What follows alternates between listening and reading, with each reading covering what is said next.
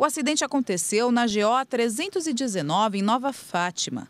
O carro bateu na traseira de um trator que estava na via, capotou e pegou fogo. O motorista morreu na hora. O vídeo gravado logo após o acidente mostra as chamas. O corpo de bombeiros foi acionado por volta de 7 horas da noite. A vítima presa em ferragens com um incêndio.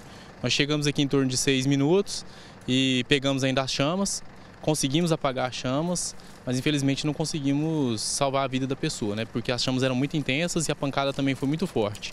Segundo as informações do Corpo de Bombeiros, o motorista do carro e do trator vinham na mesma direção, sentido Aparecida de Goiânia. E a suspeita é de que o motorista do carro não tenha visto o trator por causa da falta de visibilidade. O trecho da rodovia ficou interditada durante quatro horas. O Corpo de Bombeiros jogou serragem no asfalto por causa do óleo que ficou na pista.